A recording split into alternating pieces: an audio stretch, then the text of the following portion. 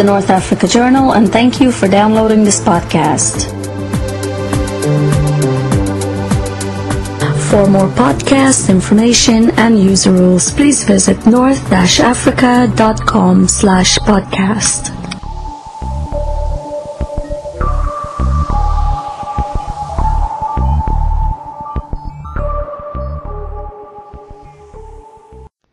Hello, this is Arezki Daoud of the North Africa Journal. Today is January 21st, 2011, and the following audio file is a brief discussion on some of the people who surrounded President Ben Ali prior to leaving the country. Uh, three, three personalities will be discussed here, namely his wife, his son-in-law, and his wife's nephew. Thank you for listening. Among the figures that uh, angry Tunisians are fixated on is Sakhr al-Matri. Uh, his trajectory is, is becoming shockingly identical to that of Algeria's disgraced businessman Abdelmoumen Khalifa.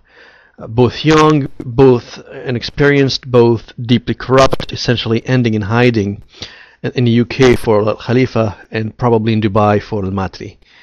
Uh, originating from yet another prominent family, Sakhr is known for investing in lucrative businesses, yet his biggest coup was probably his marriage to Ben Ali's daughter, uh, the, uh, the former president of Tunisia. Uh, today, as the drama began to unfold in Tunisia, Sakhr has been at the top of a vast business empire that spans from tourism to automobiles and real estate to media. Many of such businesses, such as his car dealerships, have been actually destroyed by demonstrators in the most current events. While the Tunisian people have long recognized the, the dysfunctional nature of Sakhr al-Matri and what he represented, the West rather cozied up to him and often treated him like royalty. He happens to be the chairman of the Tunisia-US Parliamentary Friendship Group and was awarded in October 2010 the Guido Dorso Prize, a prize that quote quote uh, honors the most deserving in the field of media and publishing unquote. The prize was handed to him by the Italian far-right senator Renato Schifani. But for the American diplomats based in Tunis, there was no ambiguity about the man. He is part of the Ben Ali system, deeply rooted into it, perhaps the next generation that would carry the misdeeds of the dictator. Uh, WikiLeaks shows a U.S. Embassy cable summary that states that Sakhr al-Matri, and quote here, was living in the midst of great wealth and excess, illustrating one reason resentment of President Ben Ali's in-laws is increasing, unquote. But who really is Sakhr al-Matri? I mean, coming from a Tunis family, he grew up in a political and wealthy environment.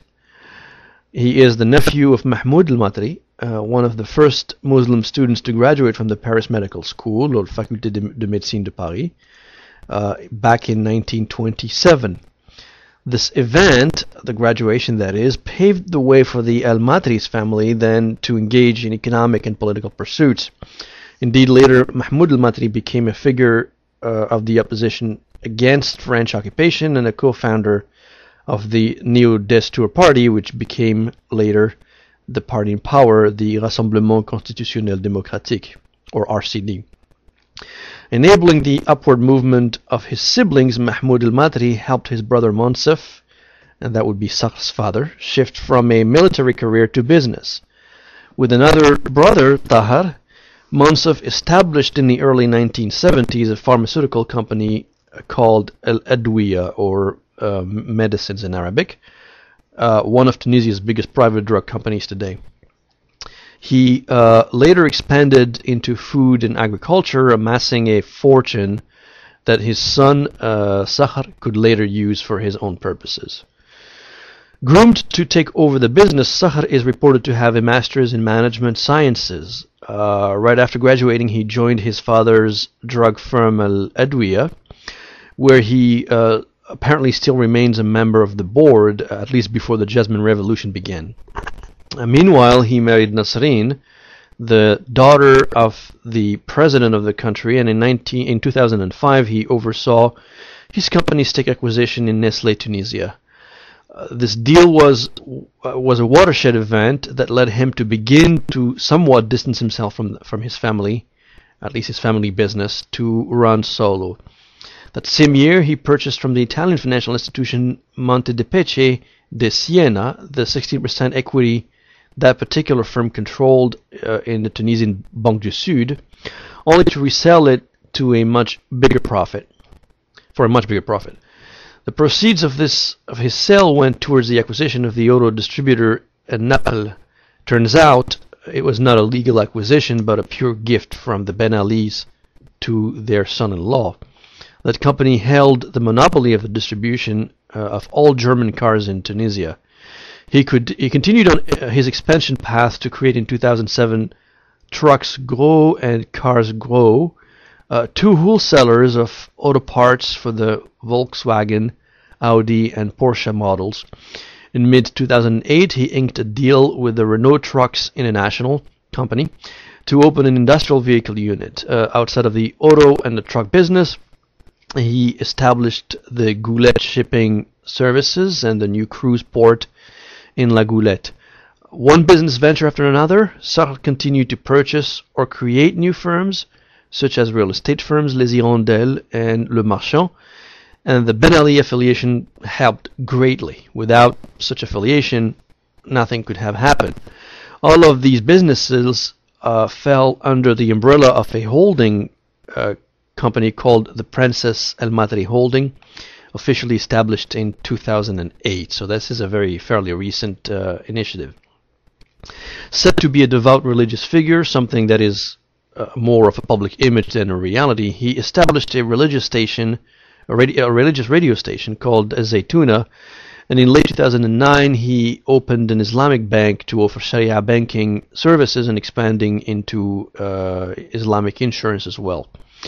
In his final grab uh, of resources before the Tunisian people took to the street, Sakhr al-Matri managed to take over the mobile phone operator Tunisiana, where he was appointed chairman of the board. Uh, the deal came after he inked an agreement with Qatar National Telecommunication, or QTEL, uh, to take over the stake sold by uh, Egypt's Orascom. As such, Sakhr would control 25% of Tunisiana, while the national mobile telecommunications company KSC Watania, a subsidiary uh, which is 52% owned, a little over 52.5% owned by QTEL, would control the remaining 75% of what is Tunisia's second largest tele- telephone mobile telephone operator with uh, nearly 6 million subscribers. Although entrepreneurship uh, with buying and creating companies are or is uh, to be encouraged since they, they do create real value, wealth, and jobs, the fast expanding empire of the 30 year old Sakhr was only made possible by a corrupt environment where transparency is non existent. Uh, if his rapid rise in business was was all legal, then how can one explain the, the very point Sakhr made to the American ambassador when he said about the Tunisian bureaucracy, quote, it is difficult to get things done, communication inside the bureaucracy is terrible, uh, end of quote. There's still a great deal to learn about the workings of those who surrounded the Ben Ali regime, but as Tunisians seek to start a new chapter, new information is likely to emerge on how a nation is plundered by a corrupt elite. Sakhr is certainly not the only one, uh, too many of them, but certainly the first lady's family, the Trabelsis, uh, have also attracted a great deal of hatred, in particular one of their of of uh, of the first lady's protege, Imad Trabelsi, um, her nephew.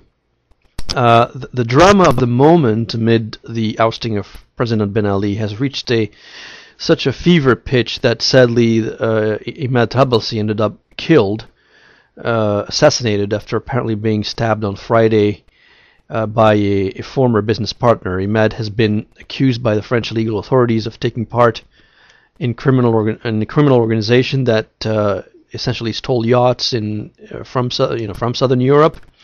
Uh, Imad always claimed his uh, his innocence, uh, and nothing has been proven. Uh, it hasn't been proven guilty yet. Imad's business also spanned from from real estate to retail distribution. He he was the mayor.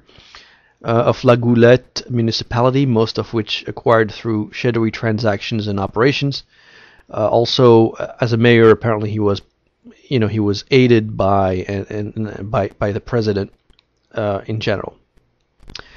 We often focus on President Ben Ali himself uh, as, as a ruthless dictator, but the Tunisian people have shown tremendous hatred also toward the First Lady, in particular towards the First Lady, Leila uh, Ben Ali Trabelsi, and, and what she represented as well. The woman is said to be the a real deal maker. She she can make or break anyone in Tunisian political, social, and economic scenes, just as she apparently led to the demise of the one of the, the once powerful brother of Ben Ali, Monsef Ben Ali.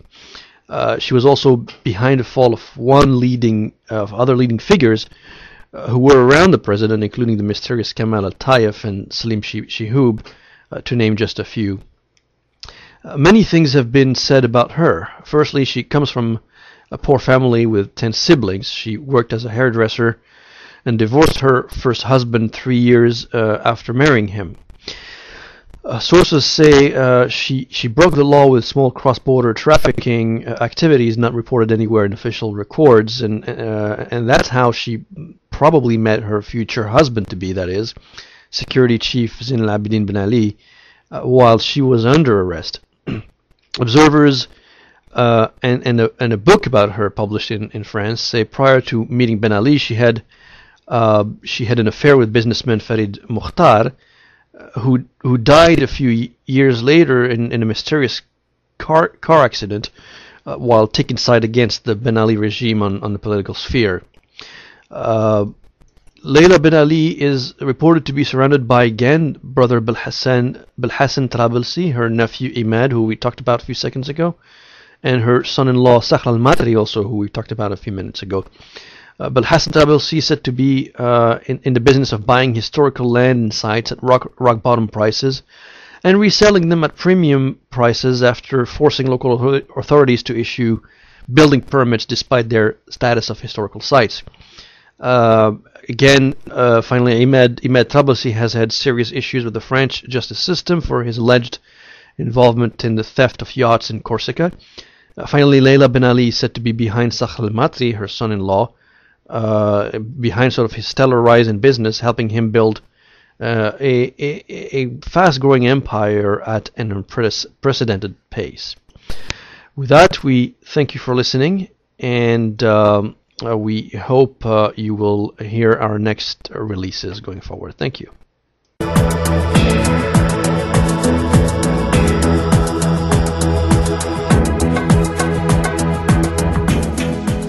This was the North Africa Journal podcast. Thank you for listening.